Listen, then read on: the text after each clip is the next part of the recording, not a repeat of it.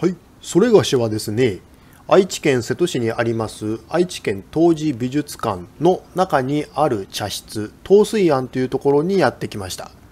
はい、これはお店の中なんですけども、ね、なかなか味があっていいですね。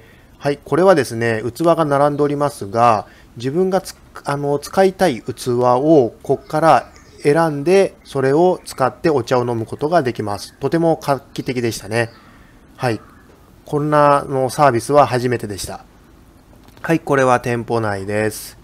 で他のお客さんはおらずですね、すごい静かで、もう鳥の鳴き声、まあ主にカラスですけどね、鳥の鳴き声と風の音、ね、すごい静かでゆっくりできました。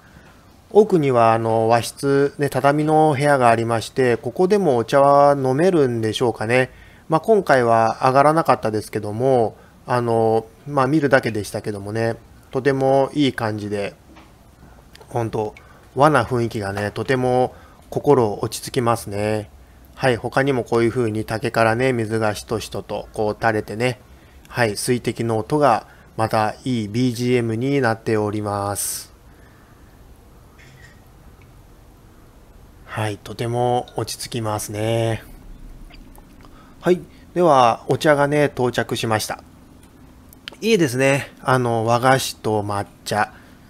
えー、とてもこう、色合い的にも、ね、デザイン的にも、えー、とても素晴らしいですね。はい。まあ、サイズ的には一口でいってしまえるんですけども、まあ、そういう風にしてしまうともったいないので、ちょっとね、こうしっかりと、あの、分け分けして、はい。ね、いただきますと。はい、いただきます。うーん。いやー、美味しいですね。いやー、ほんとうまいです。はい。で、そこからのお抹茶と、ね、いただきます。うーん。いやー、うまい。ね、ほんと抹茶もうまいですけども、やっぱりこう和菓子とのコラボね。いやもう口の中が幸せでございます。いやとても美味しかったです。はい、外はね、こういう風に、あの、なんて言うんでしょう、赤道路っていうんでしょうかね。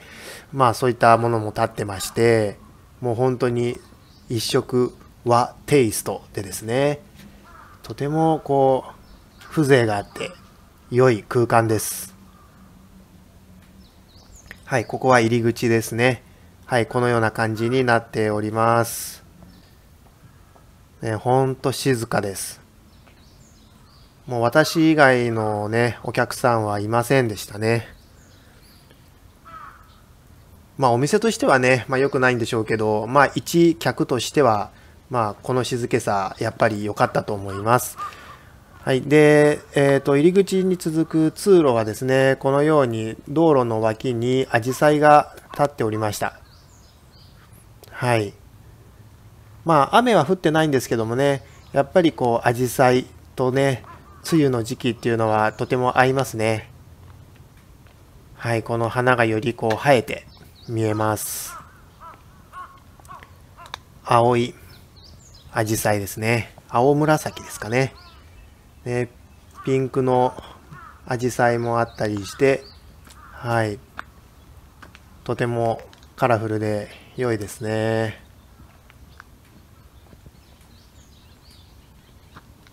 もう他にはね、ほとんど、あの、鳥の鳴き声ぐらいしか、ほんとね、耳に入ってきません。とても静寂で良いところです。はい。で、ここは、あの、入り口の案内板の看板ですね。県民社室、東水庵、ザ・ティーハウスってね、書いてあります。えちなみにここはですね、土日のみの営業となっているようです。で遠くには瀬戸タワーが見えます。でまあ、個人的にはあの空にね、そびえ立つタワー、ね、鉄塔とかそういうの好きなのでね、瀬戸タワーも好きなタワーの一つです。はい。では、今日はね、この辺で失礼したいと思います。ご視聴ありがとうございました。ではまた。